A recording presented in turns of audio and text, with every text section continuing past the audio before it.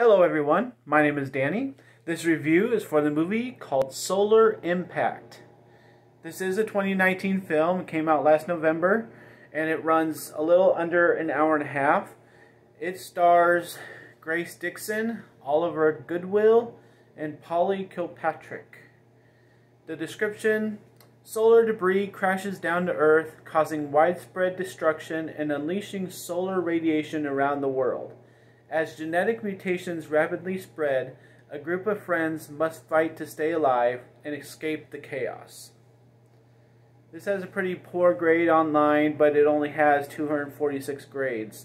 So it is available and people are watching it sort of, but generally the opinion is that this movie is poor. This is Solar Impact.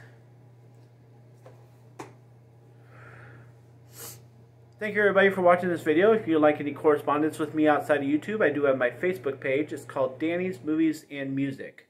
If you'd like to check that out, I have a lot of bonus content on there.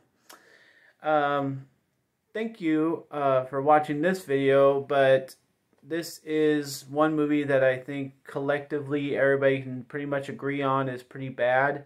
Um, the source that I was able to watch it through um, seems like it's just fuzzy. The sound is off, but I think that is possibly the movie also. But I tried to keep my bright side of things point of view going during this movie because I can understand that it's not exactly being put out there in the best light and so people aren't able to gather the best opinion about it and um, it's obviously not in theaters you know people aren't buying it on dvd i don't think so this isn't the best way to watch it, but I was able to be exposed to it. And so I tried to keep, you know, a positive mindset because I was feeling sorry for the movie more than anything. Um, I will say that the acting in this movie is below par, but I was feeling sorry for it, so I tried to keep, you know, interested in the movie as much as possible. I will say the storyline of this movie is below par. Um, doesn't make much sense. People don't react to things as well as they should.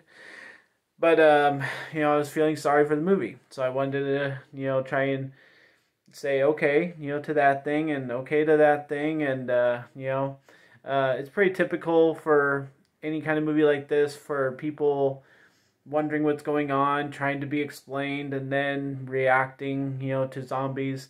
And so it's just kind of a, you know, fine way of handling it. But when I saw the movie called Solar Impact, I thought it'd be like, you know, continuous flares, number one. And number two, maybe not, you know, turning people into things, but more the fact that there are flares coming down from the sky. You know, the the graphics and the blowing up buildings and burning of the buildings uh, isn't all that impressive, but the idea of solar flares coming down right and left, you know, kind of like, uh, you know, what's a movie that's kind of better than this? You know, the the Day After Tomorrow, I think, is one. A little bit more well done, but well known actors. There's continuous stuff coming. I'm sure their budget was, you know, millions of dollars for graphics and stuff, but there's continuous things happening, whether it be the ground breaking up or, you know, bridges falling, you know. Um, so this just is a poor version of, you know, good movies, good ideas. It's on the right track um, so that's why I want to give it a little bit of credit and give you a little bit of a glimpse that it might be worth uh, something.